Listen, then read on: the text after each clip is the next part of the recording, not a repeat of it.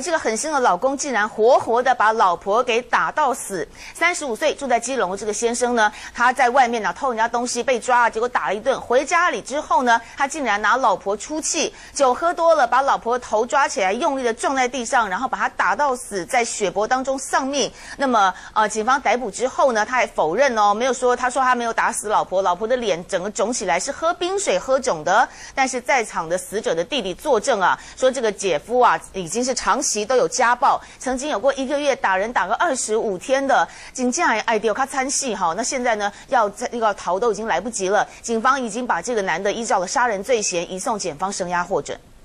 你都不检讨你自己呢？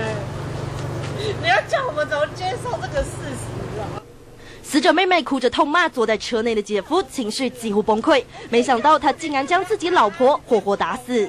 就是他之前好好的，然后就是。这阵子回来被他打到精神分裂。死者弟弟目睹姐姐遭施暴的残忍画面，却没有第一时间报警，只因为这样的情形几乎天天上演。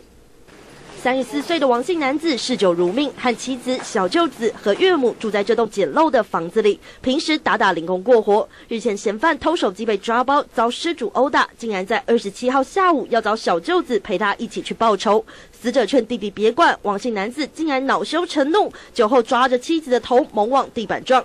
无视妻子倒在血泊中，倒头就睡。醒来后看老婆没反应，还想拿打火机烧妻子脚底，遭小舅子制止。没多久，他竟然继续又对妻子施暴，这次竟然将人活活打死。他不敢讲，因为我会直接强制法院强制。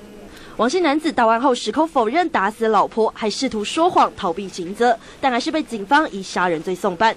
死者长期忍受拳脚相向，就是为了才读国小和幼稚园的两名女儿。没想到多年的隐忍，现在却断送了宝贵性命。